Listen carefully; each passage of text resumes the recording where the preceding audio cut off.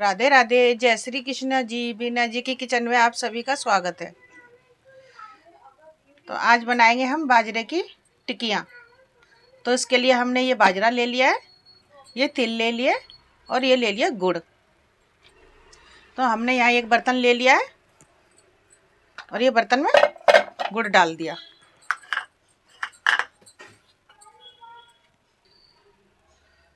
अरे पानी भी डाल देते हैं इसमें हम। जिसमें गुड़ डूब जाए। ज़्यादा पानी नहीं डालेंगे हम। बस। अब से गैस पर तो गुड़ में उबाल आ गया है। ये। तो गुड़ घुल गया है सारा अच्छे से। अब हम गैस बंद कर देते हैं। ये देखो। अब इसको ठंडा होने देते हैं गुड़ को। ठंडा होकर उसमें आटे में डाल डालेंगे तो गुड़ को हम छान लेते हैं अच्छे से।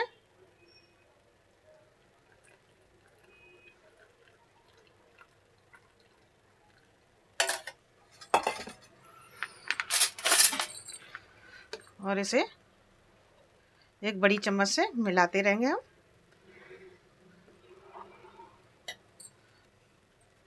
और ये तिल भी डाल देंगे इसमें यहाँ पर हम।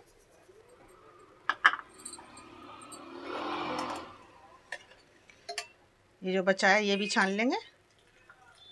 गुड़ का पानी, ये। कुछ भी नहीं निकला।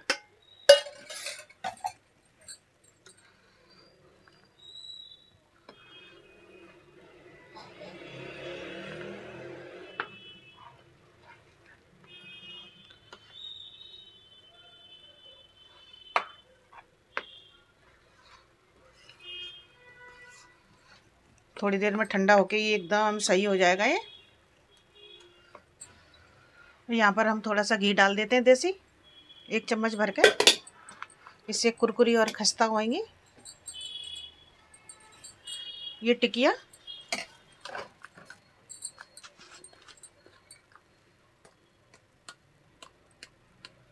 और ये इलायची पाउडर भी डाल देते हैं यहाँ पर खुशबू के लिए।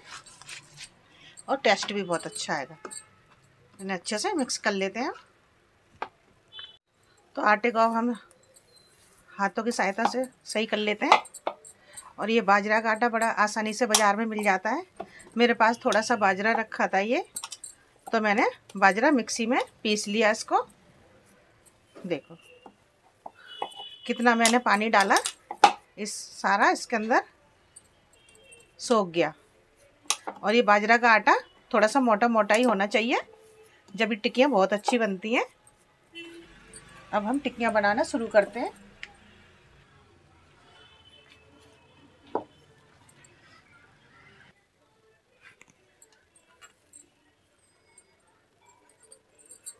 ये इस तरीके से हम लेंगे आटा और ऐसे बना बना के कढ़ाई में डाल देंगे। ये देखो, बिल्कुल। बड़ी ना छोटी, मोटी ना पतली, कुरकुरी होनी चाहिए ये। तो हमने गैस पर कढ़ाई रख लिया अब इसमें डाल देते हैं, ऑयल गर्म हो गया।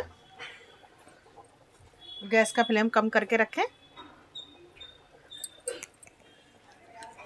और ये हम दिखाते हैं ये हथेली की सहायता से ऐसे बना लें।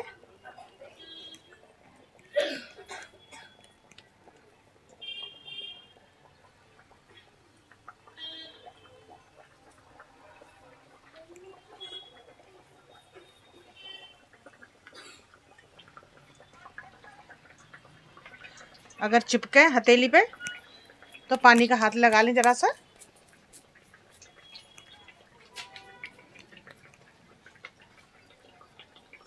ये देखो, इस तरीके से मैं डालती जाऊँगी सारी टिक्कियाँ।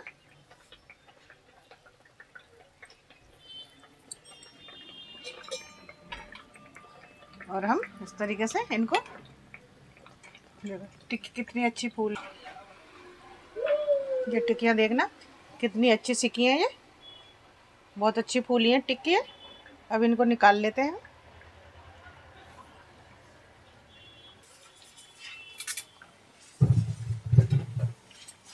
कम गैस पे ही सेकना है इनको, क्योंकि अंदर से कच्ची रह सकती है। मैंने गैस का फ्लेम कम कर रखा है। और ये सर्दी में ही बनती हैं बाजरे की टिक्की।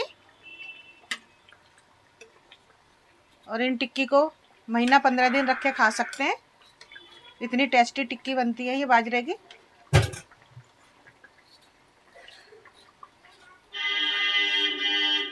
टिक्कियाँ बन के तैयार हो गई हैं ये बाजरे की। इनमें कोई टाइम नहीं लगा। बहुत जल्दी से बन गई हैं ये और इतनी खस्ता बनी है ये, बहुत ज़्यादा। ये देखो। ये। ये ये ये कितनी बढ़िया बढ़िया, देखो। आप भी इस तरीके से बना सकते हैं और खा सकते हैं। और महीना पंद्रह दिन स्टोर करके रख लीजिए, बहुत टेस्टी बनती हैं ये। और इसकी हमारी वीडियो अच्छी लगी हो तो लाइक करना, शेयर करना, सब्सक्राइब करना और बताना कमेंट बॉक्स में, ये हमारी टिकियाँ कैसी लगी। आपको बाजरे की एक बार ज़रूर ट्राई करना। ये सर्दियों में ही बनती है ये।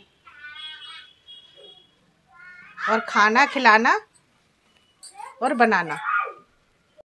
और ये टिकियाँ आप बाजरे की बनाई हैं तो ये इसकी हमने गुड़ की बनाई है, आप चीनी की भी बना सकते हैं। बहुत टेस्टी बनती हैं चीनी की भी। ये देखो।